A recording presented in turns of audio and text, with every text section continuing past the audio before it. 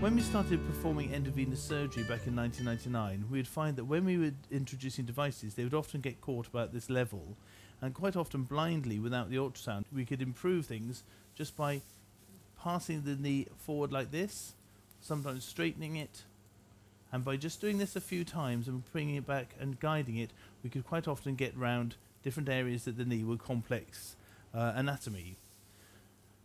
We never ever had to use guide wire to get through that point.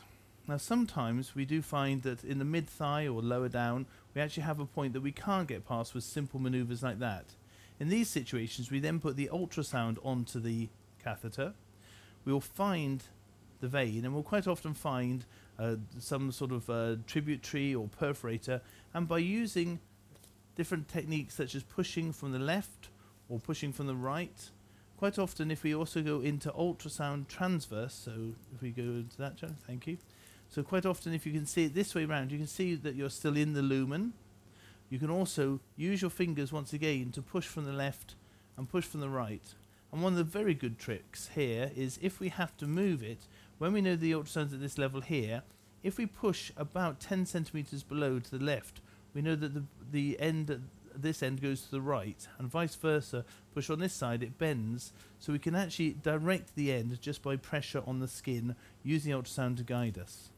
So if you ever get stuck the first thing to do is look to see why you're stuck with the ultrasound to see if there's a web or or uh, it's gone into the wrong uh, vein such as a perforator or a tributary and you can obviously pull it back and guide it Second thing, before you start pushing or pulling with your fingers, just bend the knee and straighten the knee and keep passing it in and out with different angles, and you'll usually find that gets round.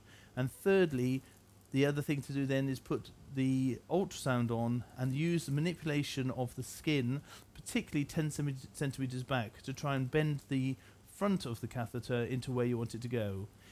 If you find you really, really can't get through, don't get frustrated about it all. Say you get stuck at this point here, and you really can't advance any further, that's no problem. As long as you haven't put tumescence in, you can then put the ultrasound here and do a second entry point and just treat the vein as if you're treating two veins sequentially.